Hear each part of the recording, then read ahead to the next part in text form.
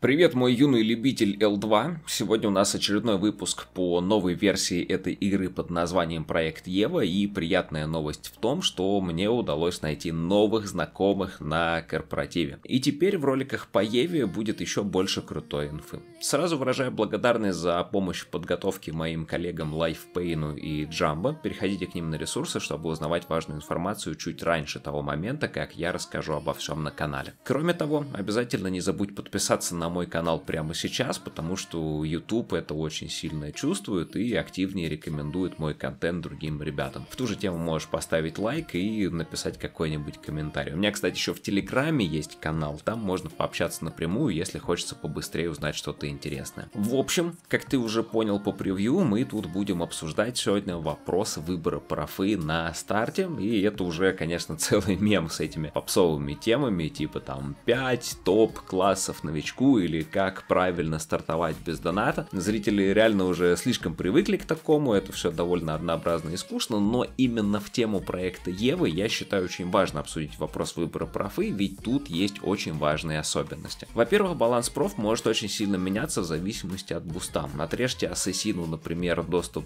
к бесконечной мане и быстро выяснится, что в PvE он не настолько хорош, как мог бы быть. Во-вторых, опять же сыграет удачное сочетание PvP и PvE особенностей, ведь за хорошие споты можно будет иногда даже успешно подраться. В-третьих, в Еве невозможно сменить профессию персонажа, а значит выкачаться удобным классом и далее превратиться, допустим, в Беша или танка будет просто невозможно. Четвертое, это Олимпиада. Она как бы все еще пососная в плане своего геймплея, ведь лично мне бои 3 на 3 совершенно не заходят. Однако приятность в том, что в награду за геройство дают приятные штуки и редкость вашей профы напрямую бустит шанс взять этот статус. Еще есть пятый секретный пункт, который вынудит вас стартовать на ТК или ШК, но давайте я оставлю эту интригу до конца видео. Добро пожаловать в Lineage 2 Essence.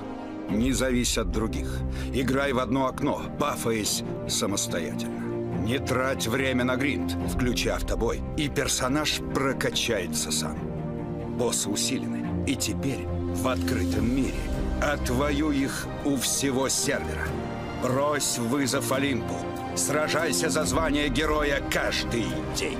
Играй бесплатно в Lineage 2 Essence на Фогейме. Вообще, в самом начале ролика покажу вам э, Тимурову таблицу. Обратите внимание, что почти все классы так или иначе раскрываются на разных степенях буста, но понятное дело, что есть свои метовые ребята, которым хорошо всегда. В первую очередь я хотел бы отметить тех героев, за которых пока что у нас э, возможности поиграть нету даже на тестовом сервере. Это новая раса из мага и танка, которые называются Духа Храмовник, а также реворкнутый ММ. Данная троица, безусловно, будет на релизе Евы, плюс обзоры на них уже лежат на моем канале. Если говорить про возможность старта на этих профах, то однозначно стоит как минимум обратить внимание. В поздней игре они будут все так же хороши, но ММ в отличие от духа чуть слабее и чуть дольше раскрывается, а храмовнику трудновато решить проблемы с маной, которые тут расходуются очень уж быстро. Другими словами, ММ и дух практически одинаковые, но дух чуть удобнее, а на храмовнике придется немного повертеться в плане PvE, но в целом он тоже неплох и будучи будучи важным саппортом, пригодится в массовых сражениях. Более понятные и знакомые метовые классы у нас тоже присутствуют, к ним я бы отнес Дестра, ДК и Ассасина. Основной фокус этих ребят в том, что благодаря базово большому урону они могут неплохо реализовываться без применения особого буста. Ассасин чувствует относительные проблемы с маной, но если правильно настроить скиллы, то бросаясь со своими тенями в нескольких мобов сразу, можно вытаскивать адену и опыт даже в забитой локации. ДК отлично умеет восстанавливать ману ману нанося урон, а благодаря мощным ударам и прыжкам тоже неплохо реализуется на каче. Плюс, после последних реворков тут есть дополнительные атаки по области. ДК, кстати, можно брать любого из трех, принципиальных различий там вообще особо никаких нету. Ну, они есть, но они не то чтобы значительные на самом деле. Дестер, как обычно, у нас выступает просто большим и сильным. У него в арсенале есть немало умений с атакой по области для хорошего фарма, а возможность ситуативно включать важные встроенные усиления и опрокидывать врагов, выводя их в состояние, где они не могут уже никак себя защищать, это тоже отличные преимущества. Особенно в случае, если тебе нужно защитить или отбить у кого-нибудь спот. И Дестер, кстати, на Еве появится немножко не такой, как у нас сейчас, он уже будет усиленный. Он там несколькими патчами его апнули. Кстати, руками потрогать намеченную профу можно уже сейчас по ссылке в описании. Проект Ева строится на основе Essence, и почти все классы, о которых я сегодня расскажу, ты можешь заблаговременно потестить вполне самостоятельно. Кликай на ссылку, регистрируй аккаунт и получи при создании персонажа куб помощи партнера, чтобы быстрее втянуться в игру и начать раскрывать интересный тебе класс.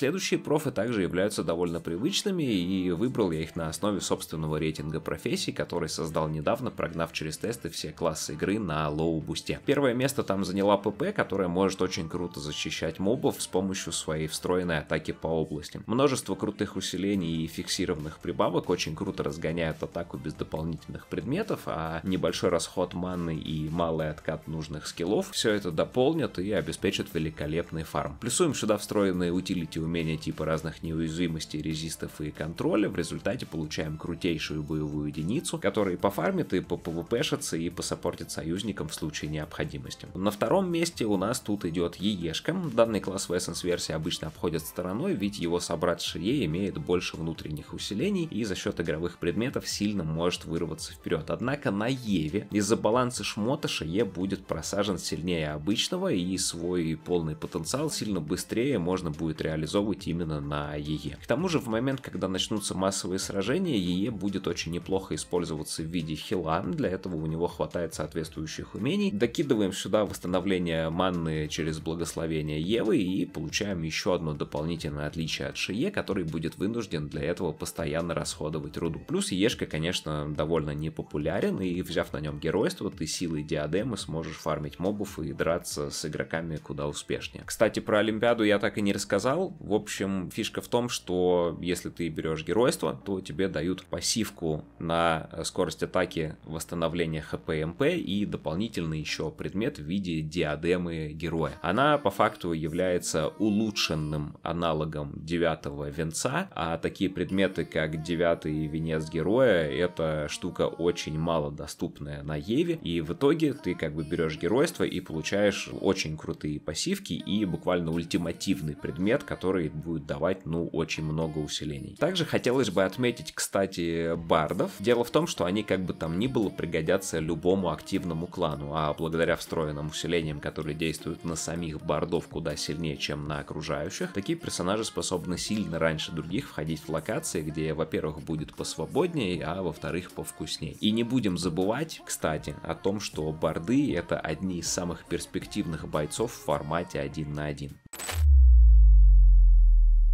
Для всех, кто хочет поиграть на призывателе или на неметовом маге, я, безусловно, порекомендую коня. Последователь стихий по факту играется как обычный маг, но технически является призывателем. Встроенная эльфийская скорость магии сама по себе сделает его DPS довольно-таки большим, а усиление от призванного коня все это дело дополнительно умножит. Плюсуем сюда возможность часть получаемого урона переносить на коня, и вот у нас уже отличная боевая единица с уроном и живучестью. Если хочется геймплея геймплея на ноже или луке, то лучше всего подойдут ПВ и ФР. Они тоже неплохо набрали очков в рейтинге, а ФР в принципе даже в таблице Тимура отметился высокой перспективностью, так что обрати внимание. Правда, мои испытания на ПТС показали, что на среднем бусте среди лучников на первое место будет выходить уже срок, так что это тоже имею в виду. Дополнительно хотелось бы отметить еще Шие и СБ. Данные классы не требовательны и просты. В Шие можно наносить урон и использовать контроль с дебафами, иногда даже даже подхиливая союзников, плюс не забываем про стигму, которая очень понадобится не только в PvP, но и на рейдовых боссах. АСБ будет максимально надежным вариантом на случай, если вы стоите в сильно забитой другими игроками локации, ведь весь PvE потенциал тут направлен строго на атаку в одну цель. Но даже если захочется отбить себе спот поинтереснее, то разные парализующие щиты и высокий встроенный урон в основном умении даст для этого много возможностей.